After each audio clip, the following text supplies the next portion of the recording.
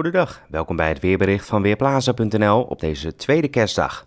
Vandaag heeft bewolking de overhand. Af en toe kan wel even de zon doorbreken, maar echt zonnige momenten zijn er niet. Verder valt er verspreid een enkele bui, maar op de meeste plaatsen zal het vandaag gewoon droog blijven.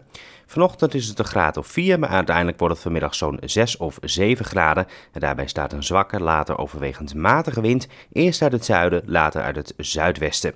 Vanavond komen er tijdelijk wat opklaringen vanuit het zuidwesten, maar in de nacht naar vrijdag dan gaat het geleidelijk aan weer bewolkt raken en volgt er vanuit het zuidwesten ook regen. En dat is de opnaad naar een erg wisselvallige vrijdag, want de stormdepressie bij Schotland zorgt voor opnieuw een stormachtige wind aan zee en boven land een matige tot krachtige wind uit zuidelijke richting. Verder zijn er flinke perioden met regen en het is erg zacht. Het wordt 8 tot 10 graden. Ook de dagen na morgen, dus in het weekeinde, zaterdag, zondag, is het tamelijk wisselvallig, al zal de zondag wel wat meer ruimte zijn voor de zon. Op maandag is het opnieuw bewolkt en gaat het flink regenen. De middagtemperatuur ligt alle dagen zo rond de 6 tot 8 graden. Ik ben Ben Langkamp van Weerplaza.nl